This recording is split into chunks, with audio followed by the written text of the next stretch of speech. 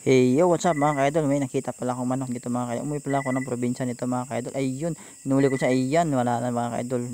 Tanggal balahibo agad at tinigdi ko na yung tanlad mga ka-idol para mabango naman yung ating maglilitson pala ako nito mga ka-idol. Na- Dinamihan ko ng tanlad. Yan, inumin natin yan ng kape kasi naantok ako habang nag naglilinis manok.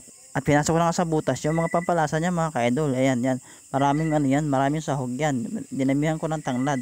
Saka may sibuyas pa yan mga ka-idol buwat tsaka dahon para para bumango yung aking lechon manok. Yan, pinasok ko na nga yung sibuyas. Maraming secret ingredients mga kaidol. Ang recipe na pala yun mga kaidol. Minanak ko pa yan sa lulo ng lulok. Ayan, pinasok ko na yung tanlad mga kaidol. Yan o, yung tangkay talaga yan mga kaidol ng tanlad. Yan. Umpisa na pala ng asawa ko magsi magsiga ng apoy para sa... Ay, may nakalimutan pala ako mga kaidol. Pasok pampasikip mga kaidol para hindi na siya kailangan tahiin. Ayan o, bara-bara na talaga yan sa mga kaidol. Ayan, tinulak pa talaga. Ayan o, yan, nagkasya. Ayan na mga kaidol. Umpisa nang nag-apoy ng ating ano uling mga kaidol. At ayun na nga tinuhog ko na yung dapat tuhugin natin mga kaidol. Ayan tagos talaga mga kaidol. Talagang ginamitan ko ng 100% na aking lakas. At ayan na mga kaidol kita nyo naman kita yung bilbil nyan mga kaidol. Kinalat ko na yung baga. At yan nagpisa na nga yung asawa ko mga kaidol.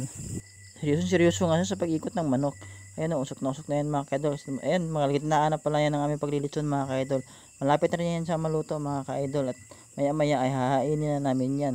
Sobrang sarap yan mga kaidol kasi secret ingredients ang ginamit ko dyan.